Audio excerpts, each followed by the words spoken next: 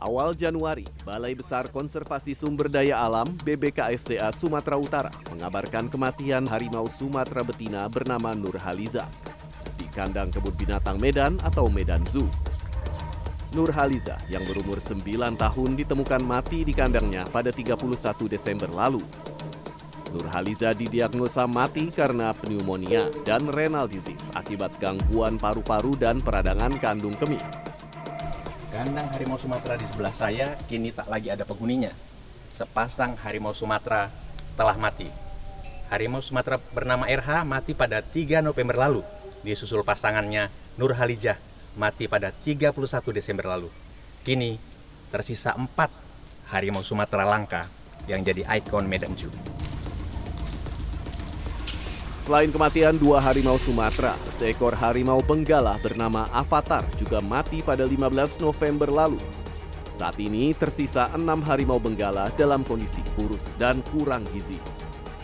Selain harimau, nasib 115 jenis koleksi Medan Zoo juga sangat memprihatinkan. Sejumlah satwa tak lagi terlihat di kandangnya. Sejumlah kandang besar telah rusak dan berkarat bahkan ditumbuhi rumput dan dipenuhi ranting dan daun kering. Medan Zoo yang dulu ramai meski tidak ada libur, kini semakin sepi. Salah satunya karena koleksinya semakin kosong. Bahkan kandangnya semakin memprihatinkan. Kondisi memprihatinkan juga tampak di kawasan bermain anak. Aneka sarana bermain anak telah mengalami kerusakan dan sisanya tak terawat. Kerusakan parah juga terjadi pada sarana jalan. Hampir semua jalan telah mengalami kerusakan. Pada Selasa, Medan Zoo yang berada di lahan seluas 30 hektare sepi dari tamu. Hanya belasan pengunjung yang datang ke kebun binatang milik pemerintah kota Medan ini. Kalau menurut saya sih memprihatinkan ya bang ya, karena kan kalau dulu gitu sampai rame sampai pengunjung itu nggak padat lah ya. Cuman kalau untuk sekarang ya hewannya juga udah banyak yang nggak ada ya. Udah nggak lengkap lagi gitu ya bang ya. Jadi udah kayak mengurangi niat gitu. Kalau tahun berapa ya? Tahun 2015 atau 2014 saya kemarin tuh masih lengkap semua. Masih sehat-sehat lah ya. Kok sekarang kok kayak udah kayak gini? Udah gitu udah banyak yang nggak ada gitu kan. Udah nggak lengkap gitu. Kandangnya kayak mana kak? Waktu lihat dari depan Aduh, kemarin. Kandangnya pun memprihatinkan gitu kayak udah nggak diurus gitu ya. Kasihan Pasca kematian tiga harimau di Medan Zoo, BKSDA Sumatera Utara telah melakukan pemantauan. Menurut BKSDA, Lembaga Konservasi Medan Zoo milik pemerintah kota Medan ini pengelolaan satwanya belum memenuhi standar. Terutama pada kesejahteraan hewannya, fasilitas kandang, tata kelola lingkungan.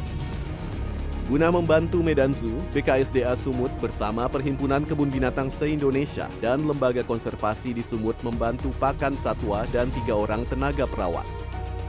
Ditambah bantuan obat-obatan dari Perhimpunan Dokter Hewan Indonesia.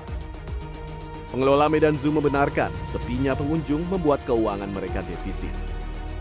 Padahal uang pemasukan Rp5.000 per pengunjung itulah yang menjadi modal untuk membeli makanan satwa, perawatan kandang, dan menggaji karyawan. Sekarang harimau kita 10 ekor, 6 harimau Benggala, 4 harimau Sumatera, 3 lagi mati karena sakit.